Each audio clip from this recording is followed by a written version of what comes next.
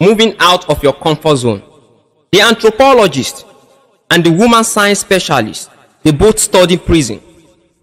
In the beginning, there is nothing like prison because in our society, we don't have rules and regulation.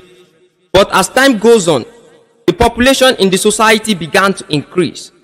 And for any society to grow exponentially, and for our society to grow very fast, we need a system to manage it. And we are going to call it good behavior, etiquette, rules, laws.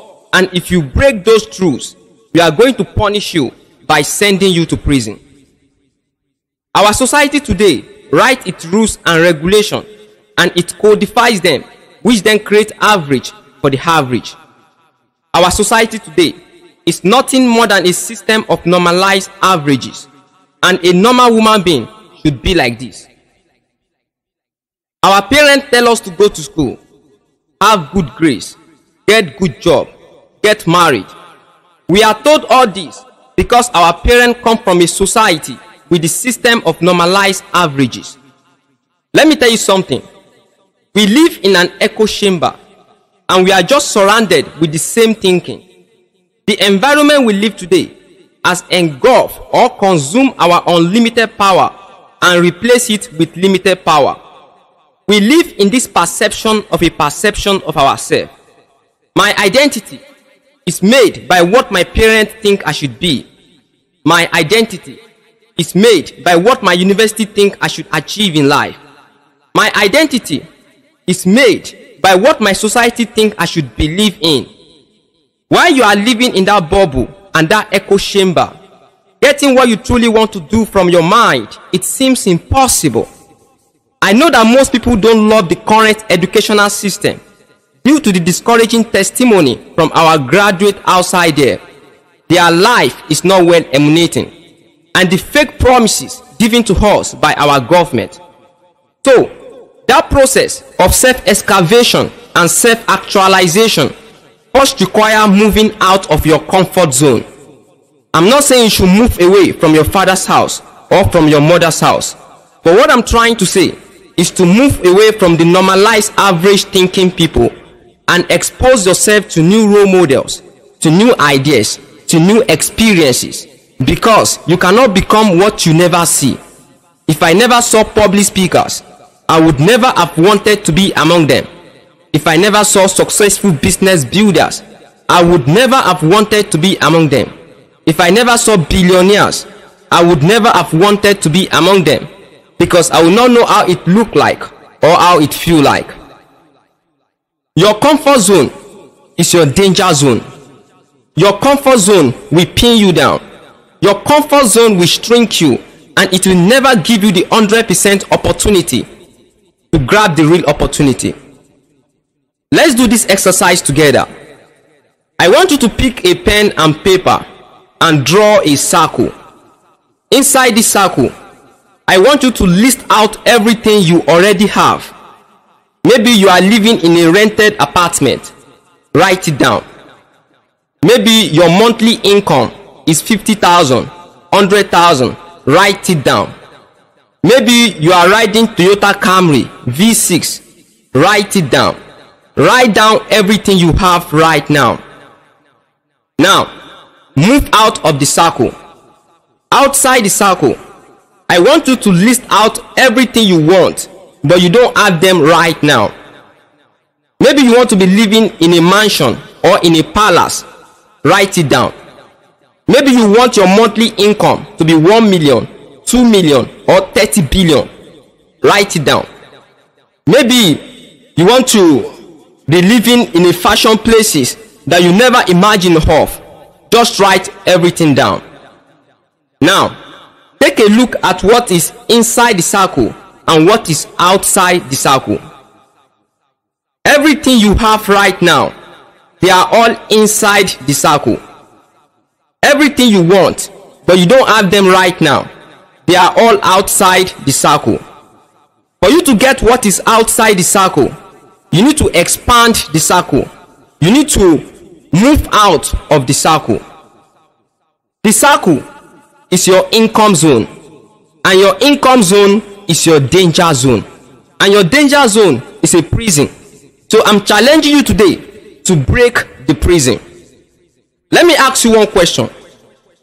Did you know someone who still have the same dream, the same goal, living in the same rented apartment, having the same group of friends, and still in the same position as he was last 10 years ago? Did you know someone like that? Why did you think most people remain stagnant for so long? Hmm. The Yoruba people do say that tí ewé tó bá pẹ́ lára ọṣẹ ó máa ni. When poverty stay too long with people, they feel it no more. Now listen to me carefully because I'm about to reveal to you how our environment is destroying our greatness in life. First of all, the reason why most people remain stagnant for so long is because they have impotent goals. They have goals that don't drive them. They have goals that don't motivate them.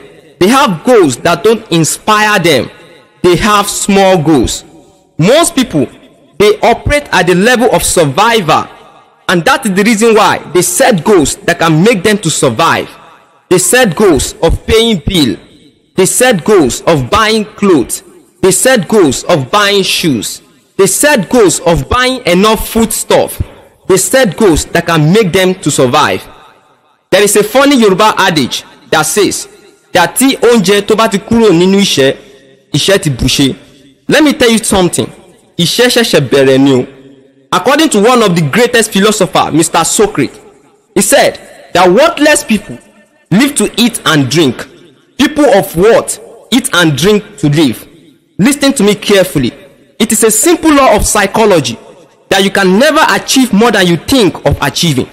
If you think of paying bill, if you think of buying clothes, if you think of buying enough foodstuff that can make you to survive, you can never achieve more than that.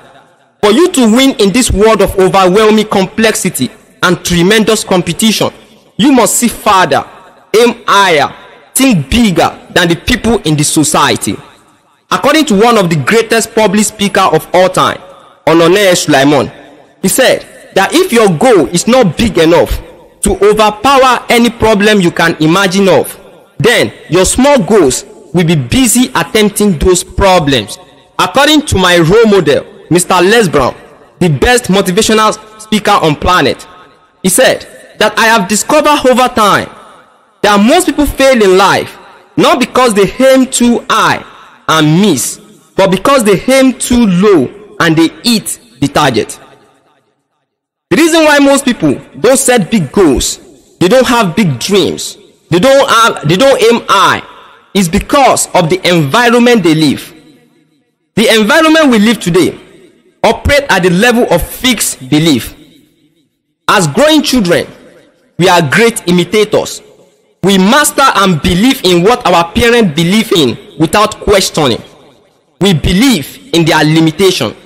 We believe in their patterns of living. We do the religion they are doing and we follow the instruction they are giving. Some of them even decide on the kind of woman we must marry.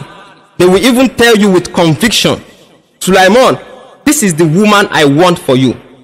Some of them assume our ability. They assume our capacity. They assume what we can do and what we can undo. And that is the reason why some of them decide our career. I could remember when my mother told me not to follow the career in public speaking, but to do something else, either to learn trade work or petty businesses. I then asked my mama, that mama, why must I learn trade work or petty businesses? She said, I don't know. I asked her again, that mama, why must I learn all these businesses? She said, I don't know. You see, our parents give us limitation based on their limited psychology and the emotional patterns they learned from the past.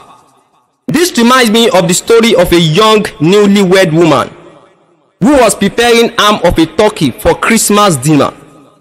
She carefully cut off the end of the ham before placing it in frying pan for roasting. Her husband asked her, Why did you cut off the end of the ham? She replied, I don't know because my mother always prepare it that way. So later in the day, when talking to her mother, she asked her mother why she always cut off the end of the ham before roasting it. Her mother replied, I don't know because my mother always prepare it that way. So they decided to call her grandmother on the phone to ask her why she always cut off the end of the ham before roasting it. Her grandmother replied, she said, because my pan is too small and it will never fit into my roasting pan. You see, all their life, people do what they are familiar with without willing to change or question it. All their life, they do it that same way because they believe that that is how it is and that is how it has always been. All my life, we are being told by our friends that our goals are too big, our expectations are too high, our dreams are too high. They preach to us that the rich will continue to be rich and the poor will continue to be poor. They preach to us that the only way you can be successful in life is when you have connection. They believe that it is impossible. These people have forgotten that impossibility can only be found in a dictionary of a fool. Maybe they don't know. If they know, maybe they don't remember that what is possible today was impossible yesterday. Listen to me carefully. History has been read and it has also been written by people with imagination. There is a story of a boy who was sleeping during mathematics class. He woke up as the bell was rang for closing time and he looked at the blackboard and copied the two problems that were there. He assumed that they were the assignment for the day. So the boy went home and tried those two problems. The boy, he couldn't figure out answer to anyone. But the boy kept trying for the rest of the week. And finally, he got answer to one and he brought it to class. The teacher was surprised. The student solved the question the teacher couldn't solve. If the student had known that the teacher couldn't solve that particular question, the student will not even make any effort to try. So that is how our environment is designed. Our environment gives us limitation and they believe that it is impossible to aim high and achieve it. Even though if you try to set big goals or to have big dreams, people will criticize you and they will be searching for ways to drag you down. People are just like a crab. If you put a bunch of crab in a bucket, you don't need to cover it to keep them from escaping. Because if a crab start climbing, the ones on the bottom will always pull the climbing ones down to their level. Majority of people don't want you to succeed. They want you to be down there in gutter with them. I am the author of this book, and this book will never come into reality if I don't leave my environment. People in the environment, they will drag you down to their level and beat you with experience. And that is the reason why I call the environment we live today modern prison. And you must break this prison. You must be crazily angry to grab the energy and the motivation I'm giving you right now and break the fence confining you. A university student once asked me, that what can I expose myself to in order to change my life? I then reply by asking him this question that what did you want to become in the future? He said, I want to become a millionaire. I said, no problem. That is a great idea. Big problem. Can you spend your money to buy books on how to become a millionaire? Can you spend two hours in reading those books every single day? Can you go online to listen to the speeches of millionaire? Can you get a mentor that can guide you in the journey of becoming a millionaire? So these are the ways I believe you can expose yourself.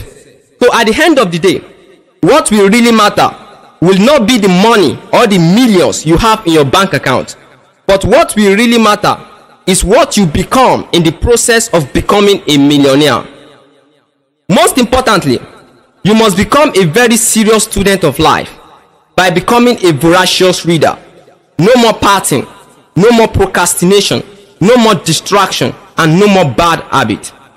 In conclusion, I want you to ask yourself this question that if I continue to live the way I'm living right now, or if I continue to be doing what I'm doing right now, where will I be in the next five years?